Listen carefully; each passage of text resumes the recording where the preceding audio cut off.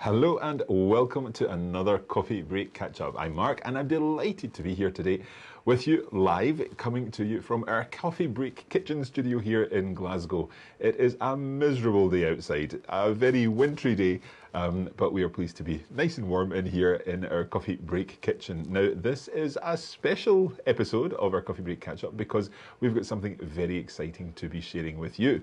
Um, let me just check that everything is going according to plan here. Uh, yep, so in this episode, of course, we've got our latest coffee break news.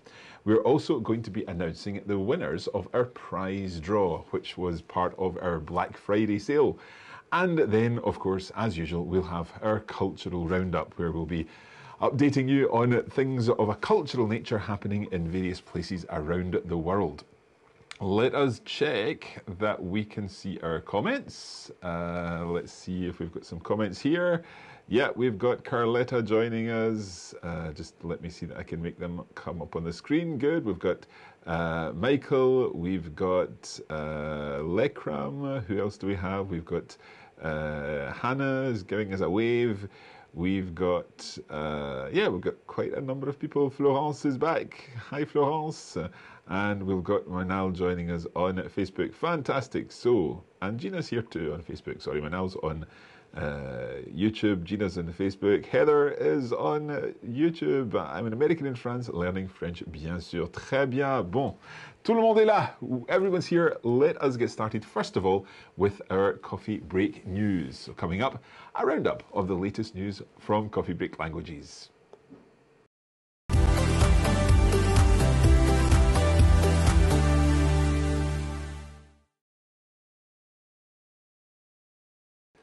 Okay, so coming up on today's news, let me bring in our slides. First of all, we've got some news of uh, a latest episode in our Coffee Break Spanish magazine. As you know, we're running season three of the Coffee Break Spanish magazine. And episode two went out just at the end of last week, and it is a fantastic episode all about Salamanca, the beautiful city of Salamanca in the north of Spain, in the Castilla y León region. Um, so this is Un Viaje Express por Salamanca, and you can catch that on the Coffee Break Spanish feed already.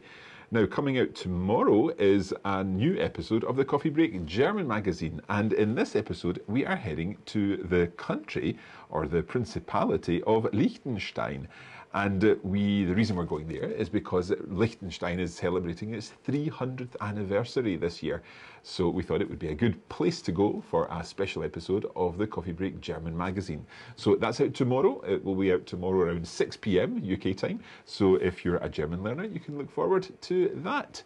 Now, also coming up uh, tomorrow is we, well we've been talking recently lots about music and how you can use uh, different types of, of music different songs to improve your language learning.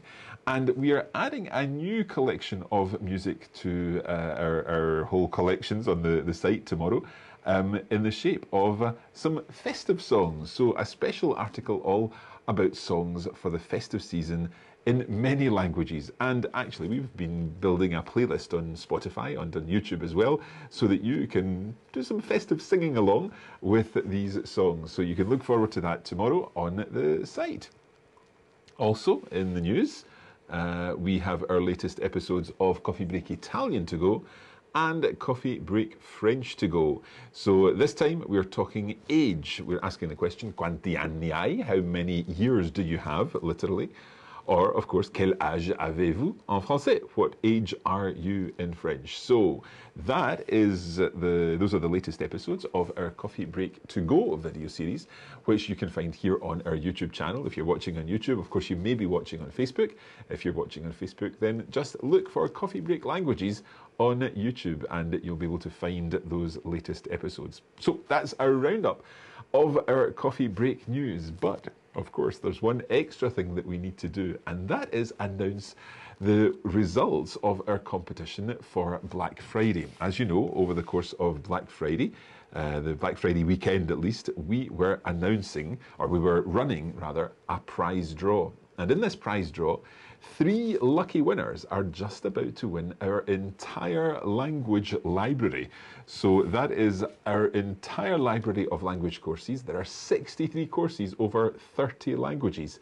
and is a prize worth well over £2,000 or $2,500 we are very excited to be about to announce the winners of this competition, and I hope you're watching. If you're watching, do let us know um, if you're one of the lucky winners in the uh, in the comments.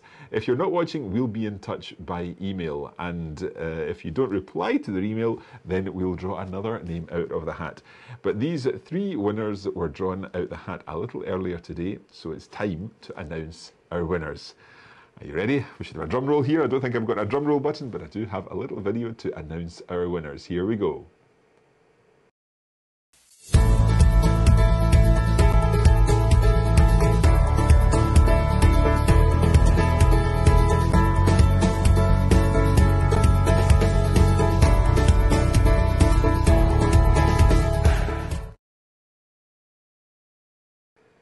So, congratulations indeed to our three lucky winners. Let's just have a look at the names again. Our three lucky winners are Karen Hunt, Gina Shearston, and Jill Cousins. I hope I'm pronouncing these names correctly. So, huge congratulations to our three winners. And what will happen, um, you will be receiving an email later today uh, if you are one of our lucky winners, and you will be uh, we'll give you an explanation of how this will all happen. And basically, we'll add all the courses to your account on the Coffee Break Academy, and you'll be able to start learning any language you like you indeed have a, a, lifetime of language learning there on the Coffee Break Academy through our prize draw for this Black Friday. Now, if you have uh, signed up for one of the courses over the course of our Black Friday sale, then you're very, very welcome. We're delighted to have you uh, as part of the Coffee Break Academy, and we hope that you're enjoying using the course already and taking your first steps in learning a language or improving an existing language um, as we head towards the end of the year and a new year of language learning. A new year of language learning, which is actually going to be very exciting for us because we've got lots of new projects, as I'm sure you know. We are going to be launching Coffee Break French Season 5. We're also going to be launching a new course in Swedish. So, Coffee Break Swedish is coming your way. And we are also delighted to be announcing our Coffee Break English course. So that the first one of them is going to be for Spanish learners. And you'll be able to learn with us. If you're an English learner and a Spanish native speaker, you'll be able to learn with us um, through a Coffee Break course for English learners in the new year. So we're really excited about all of these new developments for 2020. Of course, the rest of our content will continue and you can look forward to more lessons across all our languages. Okay, let us move on now to another uh, part of our uh, catch up, and that is something that we always do, and we always do some reviews. So let's move to our reviews. Well done again to our winners. But what I wanted to do is share a couple of reviews with you. So this is from Joyce White, who commented on the Coffee Break Academy. And Joyce said, I'm finding this French program very good for several reasons. The lessons are divided into manageable chunks. It's easy to review small portions of the text. The lesson notes are invaluable. The explanations are clear and they cover points that are often new for me. I'm copying the text and notes in a notebook, which helps me learn the spelling and accent. So it all takes time, but it's worth it. Joyce, thank you very much indeed. Merci beaucoup for your comment. We also have a Facebook review from Sibylla here. Someone had the fantastic idea that the listening learner, that's me, is learning at the same time as the person in the podcast. If your level of German is similar to the learner on the podcast, time and time again, you'll have the same questions. It's very much like being able to ask them yourself. Genius idea. Vielen Dank oder viele Danken. No, not sure. Well, Sibylla, you're, you're, you're almost right there. It's vielen Dank. That is how you say thank you very much. So thank you, vielen Dank uh, to you, Sibylla. And uh, one final one here, and that is our Coffee Break Chinese, uh, a review from Apple Podcasts from Elisa. This podcast has been so helpful in my Mandarin learning. Hearing conversations broken down and tone corrections has improved my conversational skills so much. Both hosts are patient in explaining and learning. Uh, I listen to a lot of podcasts and I've never learned so much before this one. Absolutely fantastic, hugely recommended for Mandarin learners. Okay, so thank you very much indeed, Elisa, for your comment. It's time now to take a look at our cultural update for this week. So we're getting ready to have a look at what's coming up culturally this coming weekend.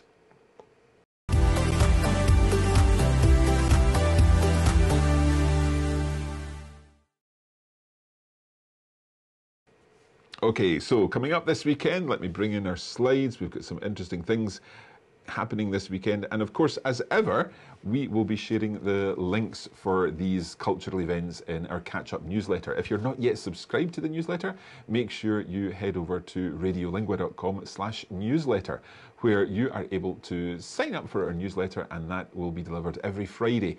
In the newsletter, we'll share some information about the latest coffee break news, obviously, but also the links for these cultural articles. So let's take a look at the articles now. First of all, we're going to Germany and to Berlin for the Zeughausmesse, which is a modern art exhibition taking place in Berlin, uh, and it starts today. So if you're into art, then it's the perfect place to go. Next up, we have got the Mercato nel Campo, a festival in Siena, which is all about food and drink and all sorts of wonderful things to taste. So if you're into that, then why not head to Siena this weekend? Coming up, in fact, starting tomorrow, is the Festival Internacional de Cinema in Tarragona in Spain, and that happens from the 6th to the 12th of December. And I like this one, A Fiera de Castagna now, you'll be thinking that doesn't look much like French. It's actually Corsican or Corse. So, a Fiera di Castagna is actually La Foire de la Châtaigne, which is the Chestnut Festival in Corsica, and that's happening this coming weekend. So, again, there is information on our uh, catch up newsletter. There are links to articles about those particular festivals, both in English and indeed in the language of the festival. So, you'll be able to follow up there and have a look at that if you're subscribed to the newsletter. If not, then it's radiolingua.com slash newsletter. I think I've got a link somewhere for that. Uh, maybe not, okay, but I'm sure the team will put that in the comments. So radiolingua.com slash newsletter. Okay, it's time now to have a look at some of your comments. So let me just move this over uh, to here so that we can see this. Um, let's have a look. So we have got a number of people joining us today. As I said, I think we got as far as Gina earlier on. So uh, Gina is saying ciao Mark, ciao Gina. Um, we've got Gayatri who's saying bonjour, bonjour Gayatri. It's always good to see lots of people that, that we recognize here, uh, names joining us. Here's Philippe uh, who's giving us a wave. I believe Philippe is in the south of France. Uh, we've got Malin joining us from Sweden. Hey, hey. Uh, we've got Jan joining us from Virginia. You're very welcome, Jan. Uh, we've got Velogu saying J'apprends le français. Très bien. Uh, Paul saying bonjour, ça va? Ça va très bien. Et vous, Paul? J'espère que ça va bien. Dot Boyd is saying hola, hola Dot. Uh, we've got Holly, who is watching from Indianapolis and currently learning German. And Holly is looking forward to Swedish next year. Jättebra! We were recording Swedish earlier this week, so I'm in a bit of a Swedish mood this week. Um, we've got Jane, who is in Australia, in Perth. It must be the middle of the night, Jane, for you.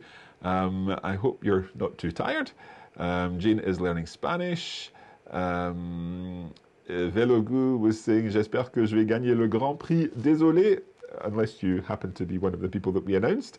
Um, we've got Wilma joining us from South Africa. Um, Keith is joining us from Hertfordshire. Hi, Keith. Nice to see you here.